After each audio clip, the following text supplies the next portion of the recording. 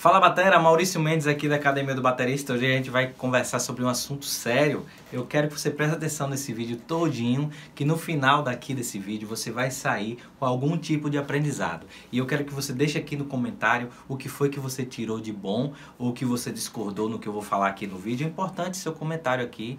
Dá o like ou dislike, que isso ajuda a ranquear o vídeo. E se inscreve no canal se é a primeira vez que você está me assistindo. Você procura saber aí da minha história, das coisas que eu faço. Tem muita coisa coisa legal para você que toca bateria. Beleza? Vem comigo, roda a vinheta.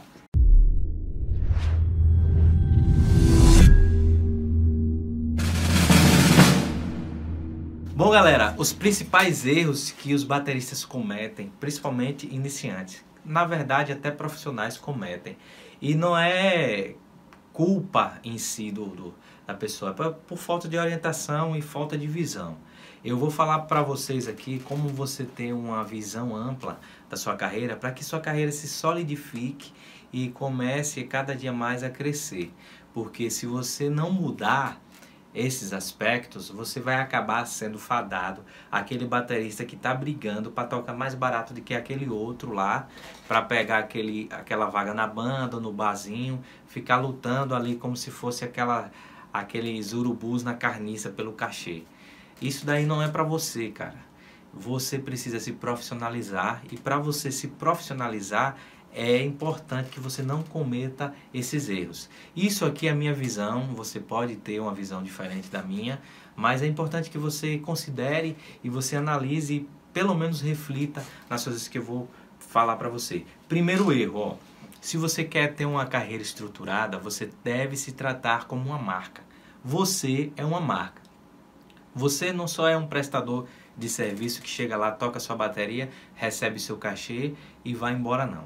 Você é uma marca que agrega valor a tudo aquilo. O seu trabalho tem um valor agregado nas pessoas que estão consumindo no bar bebendo, nas pessoas que compram ingresso para ir para o show da banda que você vai tocar. Então você está agregando valor a isso. Você está gerando capital, você está gerando lucro para as pessoas. É importante que você tenha isso em mente.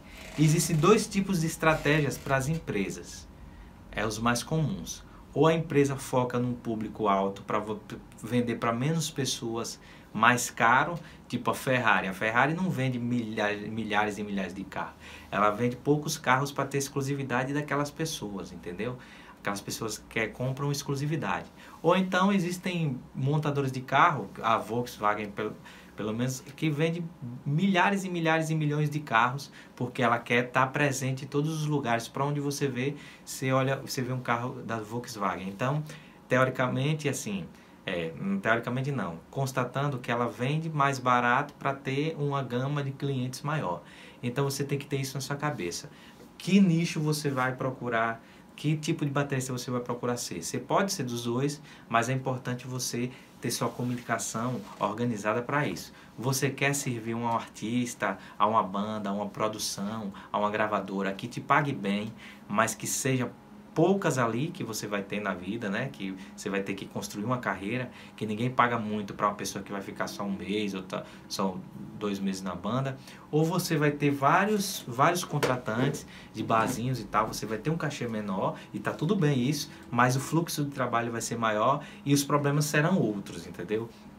Você pode ganhar o mesmo trabalhando com um artista grande ou trabalhando com pequenos, um barzinho, trabalhando em bandas pequenas. Tudo é você é, enxergar como vai funcionar a sua maneira de lidar com, com esse tipo, com o mercado, entendeu? Então, e isso está diretamente ligado na comunicação que você vai ter com as pessoas, entendeu? Se você quer ser uma pessoa que vai acompanhar um artista, que quer tocar numa grande banda, é diferente do cara que está ali mostrando seu trabalho no barzinho, diferente que eu falo a comunicação. Nenhum é melhor, nem outro é pior. São só estratégias diferentes.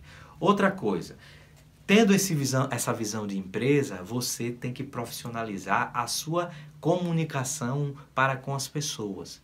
Por exemplo, você sabe quando vem aqui no YouTube da Academia do Baterista, você sabe que eu vou falar de bateria. Eu não vou postar nada de política, de religião, de futebol, não vou falar nada disso. Eu vou falar de bateria, porque você está atrás, você é baterista, você está atrás desse tipo de informação entendeu? A mesma coisa acontece com o meu Instagram, com o meu Facebook, a página profissional, tem o meu Facebook pessoal que eu posto outras coisas, mas o Facebook, no caso CNPJ, Facebook empresarial, só posta coisas de bateria. E é importante isso, porque o que eu vejo nas redes sociais é os bateristas confundirem. Por exemplo, agora mesmo eu vi é, fulano drums, fulano batera, o cara com a foto da namorada que mais aparece a namorada do que ele.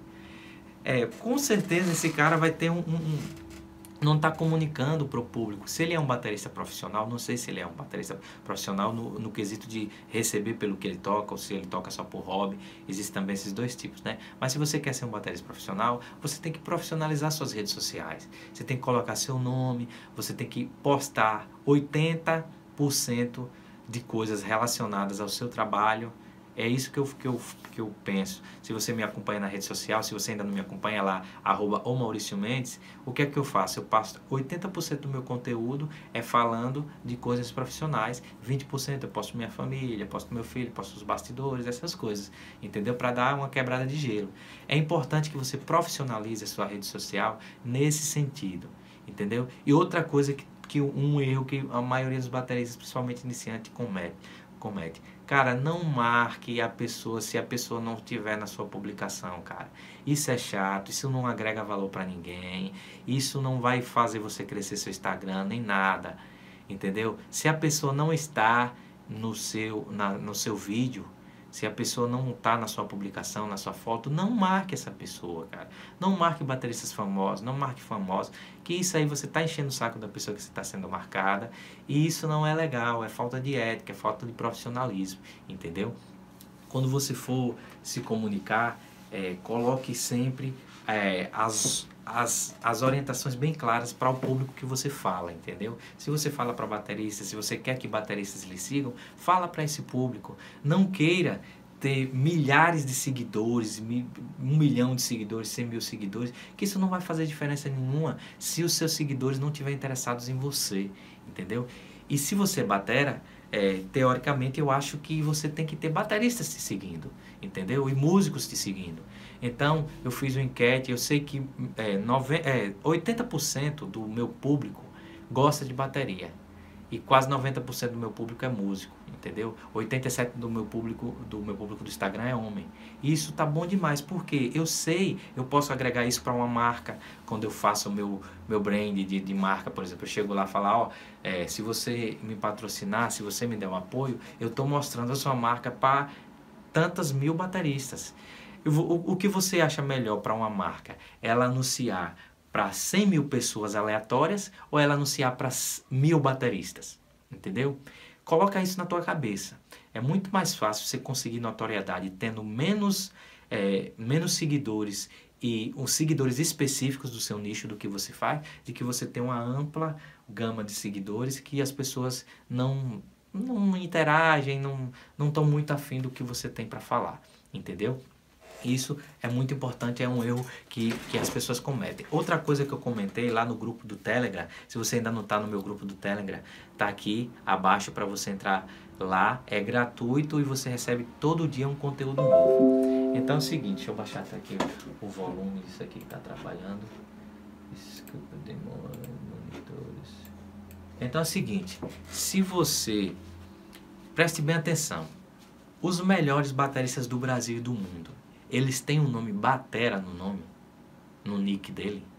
Eles têm um nome Drums, entendeu?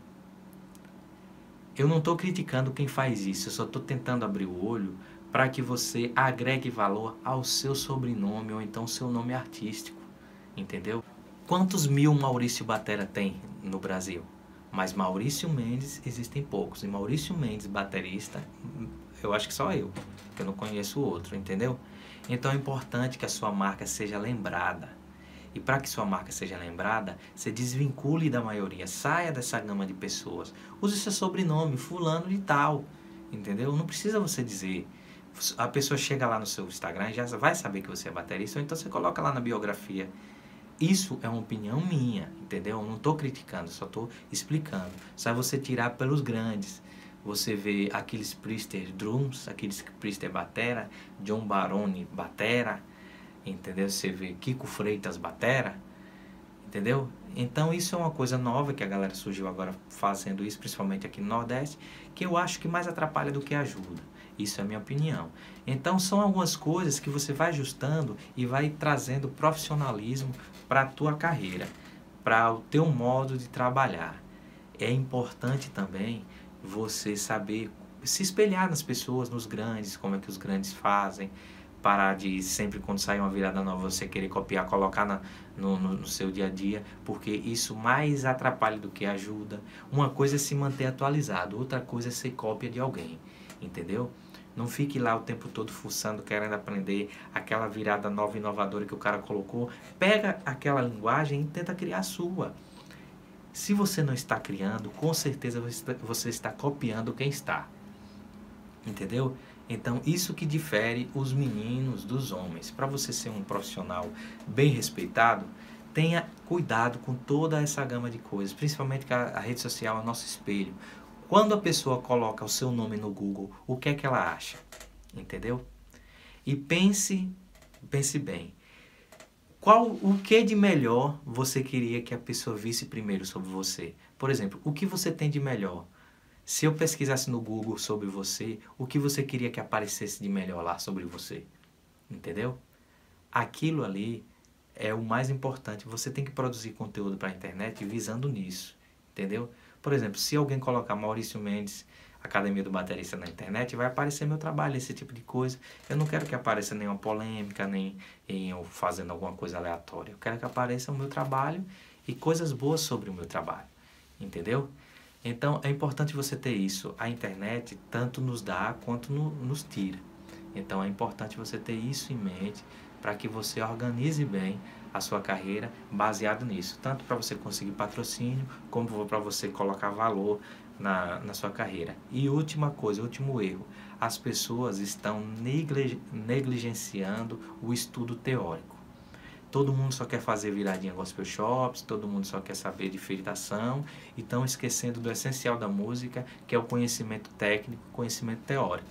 Procure um professor, não estou dizendo para você estudar comigo, não. Eu ensino também essas coisas. Se você não quiser comigo, existem milhares de professores no Brasil que estão aí dando conteúdo de graça, cursos pagos, cursos presenciais, cursos online. Invista na sua carreira. Aprenda a ler partitura, aprenda a tocar no metrônomo, porque você só vai só está valorizando o seu o valor do seu cachê, você está valorizando o seu passe, entendeu? Estude, aprenda, porque que se você não aprender, vem outro que sabe e toma o lugar que deveria ser seu. Beleza? Eu só quero dar um apanhado geral de como é que funcionam as coisas. A gente vai voltar com mais vídeos aqui. Se você gostar desse vídeo, por favor, comente aqui para que eu faça mais vezes vídeos desse tipo.